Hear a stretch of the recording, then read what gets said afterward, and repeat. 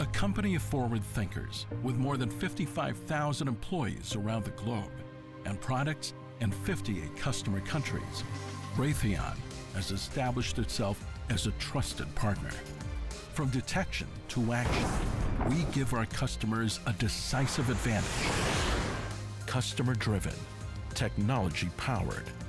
Raytheon, revolutionizing defense capabilities. Hello and welcome to the Emerging Tech Horizons podcast. I'm Jacob Wynn, an Associate Research Fellow at NDIA Emerging Technologies Institute.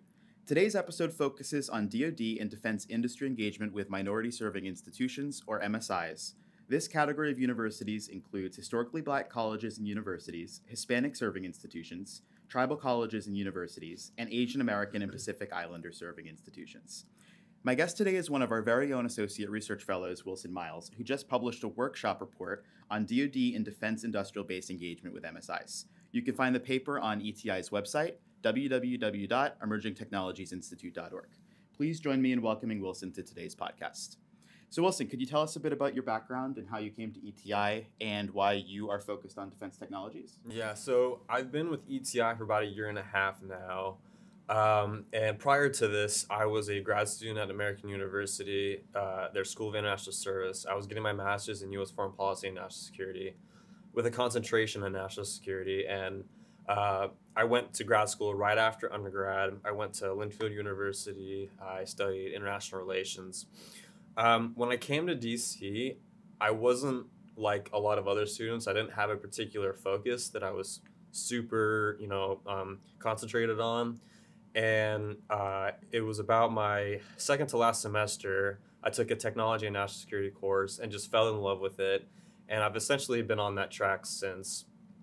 And so, right after grad school, um, I got an internship with the Hudson Institute, um, and then after that, got my job at ETI as an associate research fellow. And then, since I've started here, I've been working on projects like our hypersonic supply chain report currently our directed energy supply chain report. I just wrapped up this uh, minority serving institution workshop paper. Um, and, you know, my interest in defense technologies is not really something that I think I can articulate super well, but it's just something that I'm very, very passionate about. I just, I feel it. Um, and, you know, this position at ETI has just been, um, you know, a dream come true. So. Fantastic. And the paper that you're releasing through ETI is based on a workshop that was held recently. Could you tell us a bit more about the workshop?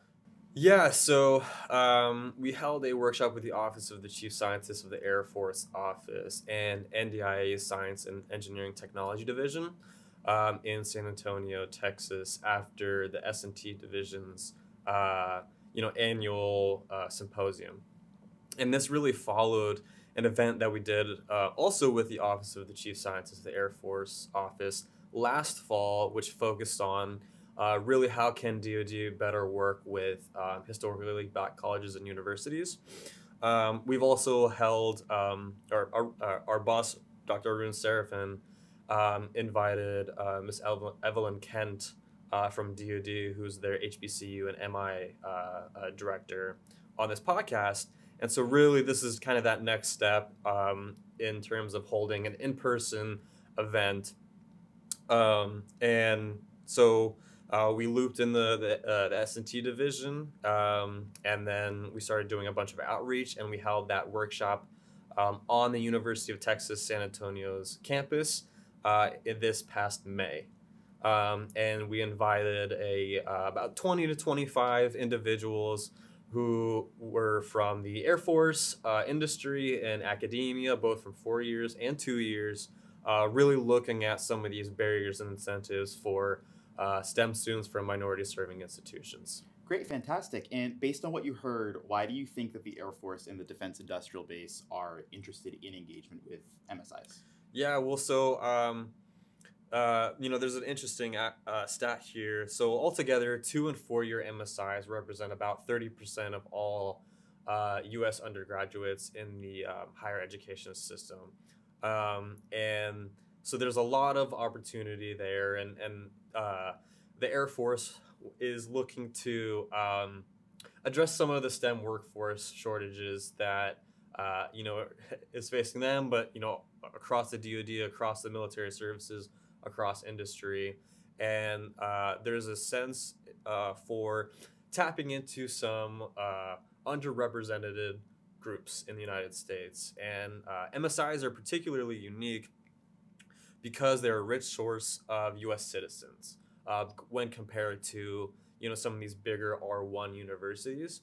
Um, you know, just kind of a quick anecdote during my during our outreach for the Directed Energy Supply Chain report, uh, I was talking with a um, a dean of engineering, and he said uh, that who was uh, a dean at an HSI, and he said that um, HSI or students at HSIs typically tend to have higher retention in mm-hmm. the defense industrial base. And so there's a recognition that these students provide a lot of value to DoD and the defense industrial base. Definitely. And what were some of your key takeaways from the paper?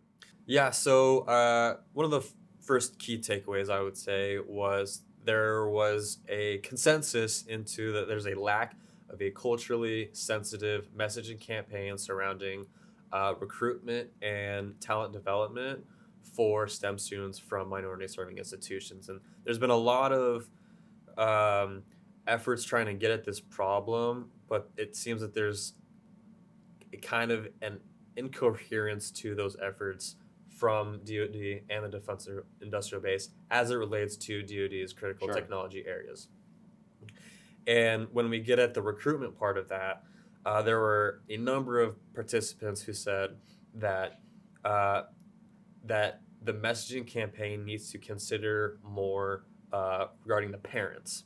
There was a big emphasis on the parents for some of these students, and you know a lot of um, um, students from Hispanic families. You know, they're oftentimes the first people in their family to go to college, sure. and then they're the first uh, first people in their families to get to go get a graduate degree. Mm-hmm and so it's a really new experience for them and navigating the pathways to DoD and the defense industrial base can be tricky.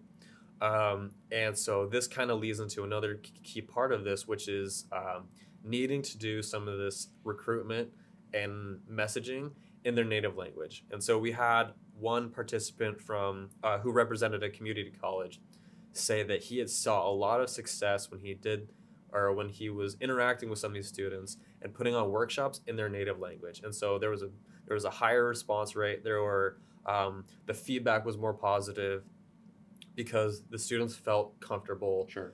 uh, speaking and articulating their needs in their native language. Um, so the second the second key finding sure. was that there was um, there's an opportunity to leverage more talent from vocational schools and community colleges. Um, um, it's like 30% of all uh, two year community colleges are MSIs. Um, and so, you know, when we think about transitioning some of these critical technologies from the lab to manufacture them at scale, there's a huge uh, need for some of that, you know, support workforce. And uh, a lot of the working group working group participants mentioned that a lot of the the, the focus at the at the strategic level is on PhDs. And so, you know, when we start to think about transitioning, we need to think about that support workforce. And oftentimes, that two year degree holder is uh, the type of individual that is going to look for some of those positions, which is perfect. And so, there's a ripe opportunity to kind of bridge that gap. Sure. Uh, the, uh, the third takeaway was that, and this isn't really surprising, is that there's a lot of competition with the non-defense commercial market. Definitely. Right. Uh, a lot of these jobs are, you know, higher paying, and you also don't have to deal with the security clearance process, and that's enticing to a lot of students who aren't exactly familiar with what that process actually entails. And then the last takeaway that I'll mention is that um, there are some barriers that stem from contract language.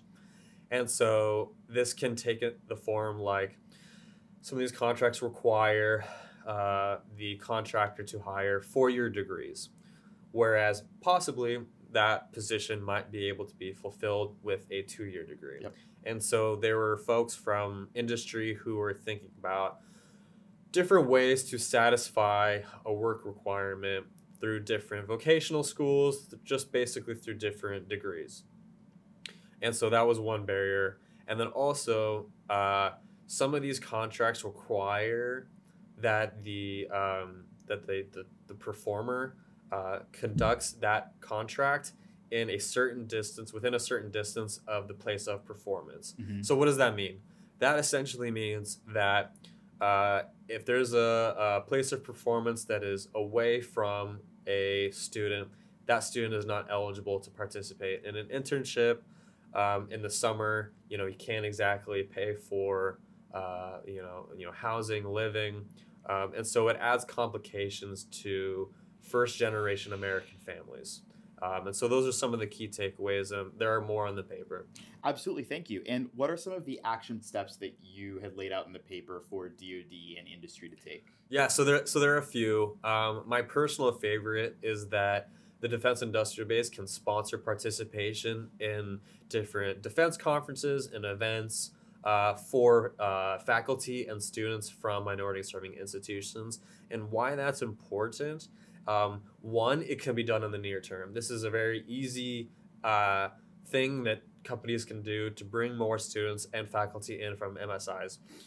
And these events are important because you can do networking and you can find the jobs. And oftentimes that lack of access and that is, is really, really important. Definitely. Um, and it's, it's, it is a barrier. And so that's one thing. Um, you know, where you see fit, you can adjust the contract language so that it incorporates more flexibility into the contract. So this can um, influence how companies approach hiring. Um, you know, companies want to approach hiring for essentially, you know, getting contracts and positioning themselves in a way that's most beneficial for them to get that contract and execute that pro- project. So finding ways to be flexible um, is is another area. Another thing that the Defense Industrial Base can do is create an affinity group, and an affinity group is essentially a uh, a group that is binded by a particular interest. So in this case, it would be how can companies in the Defense Industrial Base find ways to uh, identify, reduce, and eliminate barriers uh, for STEM students from MSIs. Um, and uh, the final thing that is also extremely important is that DoD should create a working group that consists of um, individuals from the services and across agencies, as well as uh, uh, members from the Defense Industrial Base, to continue the conversation. You know, this is this is uh, this is going to require a lot more work, more funding, um, and so we need to continue the conversation. And in our experience, the working group that we put together in San Antonio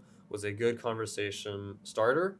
Um, the job's not done, and so uh, uh, continuing that conversation in the form of a working group that consists of companies from big, you know, the big primes to all the way down to small businesses across DoD coming together to talk about some of these issues and finding ways to eliminate those barriers um, and provide incentives for those students to come work on defense projects um, is really, really important. Absolutely, thank you. And in terms of us at ETI, what are the next steps for working on this issue? Yeah, so um, you know, at ETI, we're very open to uh, continuing this work, and so we would really just encourage people um, and organizations from NDIA's membership base and, and non-membership base to reach out and see how we can partner um, and you know perhaps put out a webinar or write a report. Um, and so that's just one quick thing that I would that I would add to that. Wonderful. Well, thank you so much for tuning into this week's episode of the uh, Emerging Tech Horizons podcast. Uh, if you enjoyed the podcast, don't forget to hit the like button and subscribe to our channel to stay up to date with all of our latest content. And please visit our website to see our upcoming products. That includes a full agenda of our upcoming Tech 101s, webinars, short courses, and reports that we have planned for the rest of the fall. And I'd like to thank our producers, Daniel Park and Melanie Yu.